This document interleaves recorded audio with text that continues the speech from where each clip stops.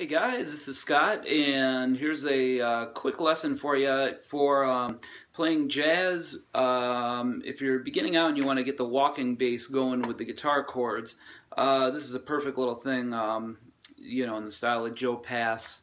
Um, and you know, this is something that's uh, it's it's actually fairly simple to do. It, it's uh, it seems a little complex at first. It did to me, at least. But once I practiced it for a day or two, it actually started to come together pretty quick. So um, I've got tablature at the end of the video that I'll show you, but here's what it looks like real quick. This is just kind of the, uh, the main idea.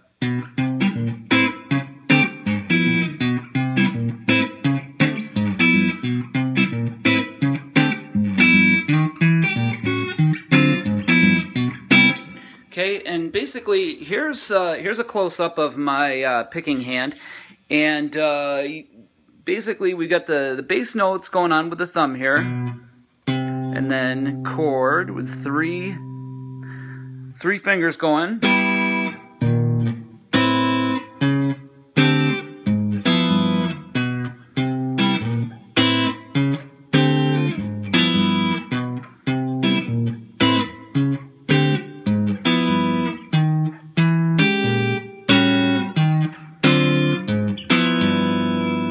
And then my fretting hand looks uh, looks like this.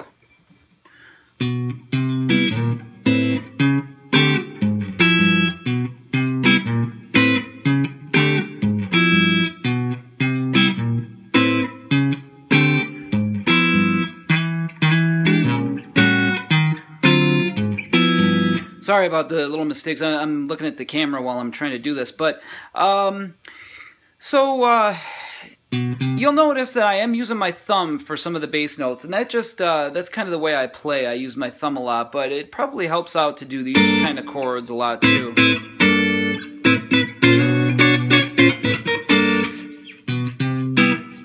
But uh, anyhow, um, it's it's pretty simple once you get it going, and then uh, with that last part of the riff, this right here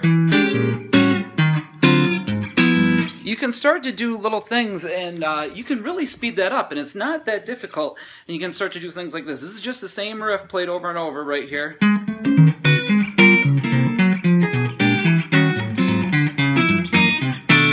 And uh, trust me guys, it's, it's pretty easy um, you know, once you get going, it, it, really is. Once you get a feel for it, and it's all about uh, it's all about feel with this one.